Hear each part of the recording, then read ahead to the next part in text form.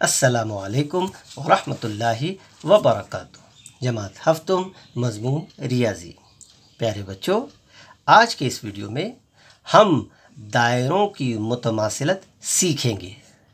बच्चों, आपको पता है कि मुतमासिलत किसे कहते हैं?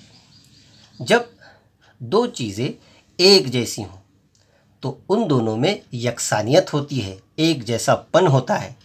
तो वो दोनों चीज़ें एक दूसरे के मुतमासिल होती हैं। और मुतमासिलत की, मुतमासिल की अलामत बराबर और उस पर मद का निशान। ये जो है, मुतमासिल की अलामत होती है। सबसे पहले हमने देखा कि क़तात ख़त की मुतमासिलत क्या होती है।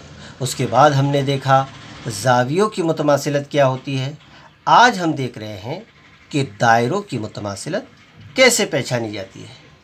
बच्चों, यहाँ इस किताब में आपके सामने चार दायरे बने हुए अब सीधा सा जो है इसके अंदर हमें आइडिया लगानी है कि जिस दायरे की साइज़ दूसरे दायरे की साइज़ से बराबर हो, वो दोनों दायरे आपस में मुतमासिल हैं। दायरा ए, दायरा सी के मुतमासिल है। क्यों मुतमासिल है? क्योंकि दोनों का निसफ कुतर एक एक सम का है।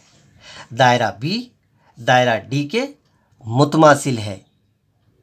गलत जवाब।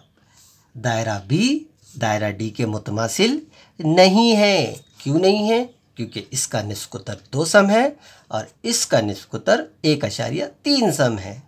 बड़ा आसान है। इसकी खूब मश करें और बार बार प्रैक्टिस करके इसको सीखें और अपनी सी डब्ल्यू में भी इन शक्लों को बना लें। शुक्रिया।